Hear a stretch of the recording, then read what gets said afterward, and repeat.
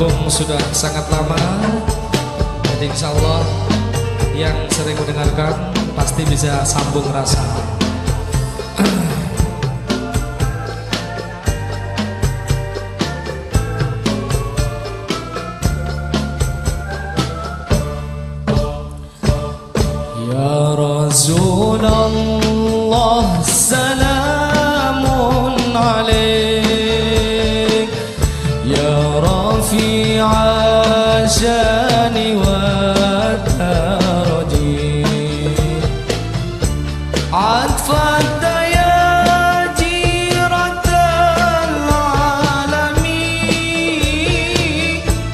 يا أهيل الجود والكرم.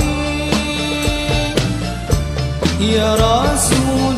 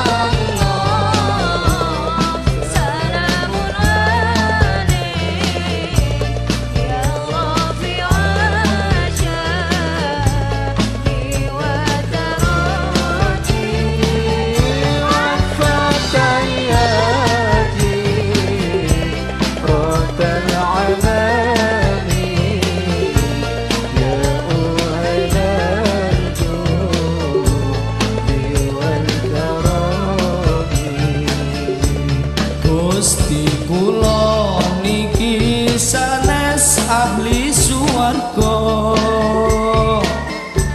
Ananing kula boten kiyat wonten neraka.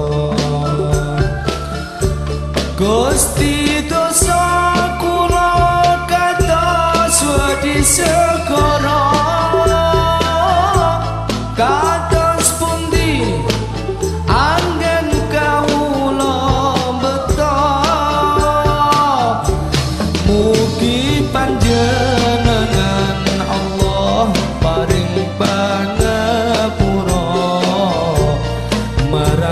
sekatae dosa kamuno